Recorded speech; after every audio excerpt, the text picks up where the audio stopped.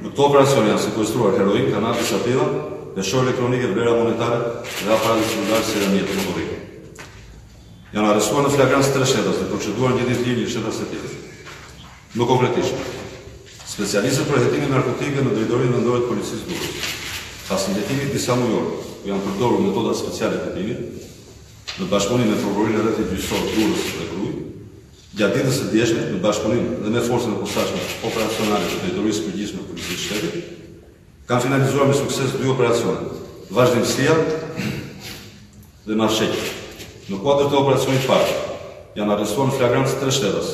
Nderi Mona, pesëdhjetë e dy vjeç, banues në Durrës, Arjan Avdyli, njëzet vjeç, banues në Durrës, si dhe proceduar në gjendje të lirë shtetasja E.Dh, tridhjetë e një vjeçe, banues në Durrës.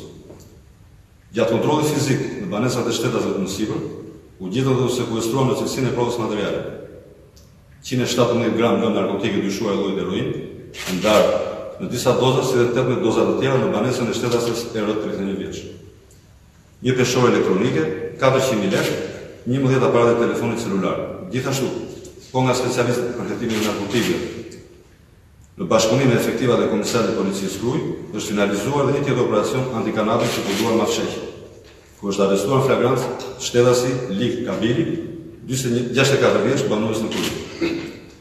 Gjatë kontrollit të ushtruar në banesën e këtij shtetasi,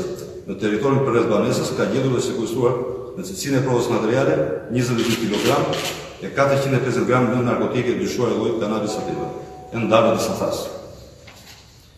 Në bashkëpunim me prokuroritë respektive të rrethit Durrës dhe Krujë, po vijojnë hetimet për zbulimin e autorëve të tjerë të implikuar në këtë veprimtari kriminale. Materialet në ngarkim të shtetasve të mësipër i kanë kaluar Prokurorisë së Rrethit Gjyqësor Durrës dhe Krujë për veprime të mëtejshme. Policia e Durrësit fton gjithë qytetarët që të denoncojnë çdo rast të paligjshmërisë, duke garantuar anonimatin e tyre si dhe reagim të shpejtë